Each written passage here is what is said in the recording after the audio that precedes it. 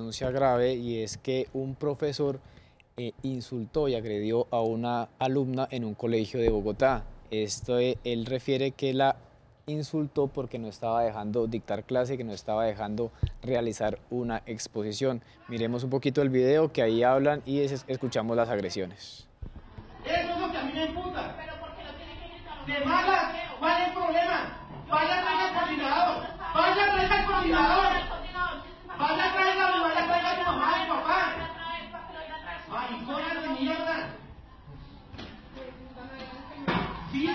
Que ha que hace el profesor contra esta alumna, además las amenaza de perder, hacerlas perder la materia, ella dice que va bien, que no tiene ningún problema con la materia, que además no estaba eh, molestando la clase.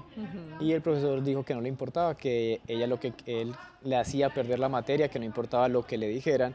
Y la siguió insultando. Más adelante llamó a la, a la representante, llamó a las autoridades del colegio y el papá denunció y puso esta denuncia y habló, abro comillas, dice, se supone que el profesor tiene una educación superior y le debe enseñar a los menores algo bueno, no es un buen ejemplo para los estudiantes. Ya la, Secretaría de Educación Distrital de Bogotá, porque eso fue un colegio público, un colegio distrital de la capital, ya están averiguando y para las, sobre estas denuncias que hace el papá para tomar los correctivos necesarios en esta institución. Pues la verdad es que sí llama la atención porque pues desafortunadamente pues estos tratos no son los adecuados, los que corresponden a un profesor, a un maestro, porque recordemos que las instituciones educativas pues son para eso, para darles instrucciones y sobre todo pues muy, muy adecuado, eso sí, que cuando los eh, estudiantes presenten o estén, digamos, tengan alguna queja, pues la hagan de manera formal. En este caso usted nos dice, Miguel, que ya se, pues ya se puso en conocimiento de las autoridades del mismo colegio y que el mismo colegio también va a tomar medidas. Esto también es importante, sobre todo porque es que hay que escuchar siempre las dos versiones, pero desafortunadamente, pues digámoslo así, mm, este momento no creo que fue el más propio para el profesor. Fue un momento desafortunado, pero la verdad es que sí tiene que medirse. Sí, no, igual eh, es difícil ser profesor.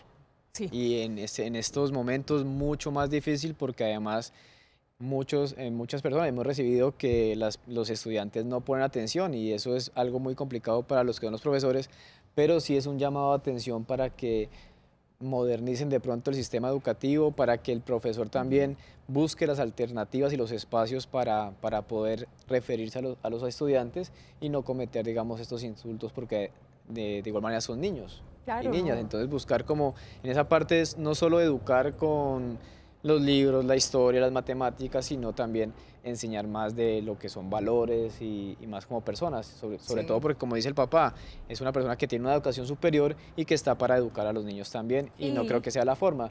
Puede ser un lapsus que se haya eh, pasado con el profesor, pero pues de todas maneras hay que tratar como de, de, que no pasen porque además en este momento hay muchos medios que por donde se pueden difundir estos videos. Exactamente. Y ahora puede quedar sin trabajo y para que busque nuevamente trabajo es más complicado. Con ese antecedente la verdad es que es un poco difícil, pero esperemos que se tomen los correctivos necesarios y obviamente pues que esto no se repita en ninguna institución de nuestro país.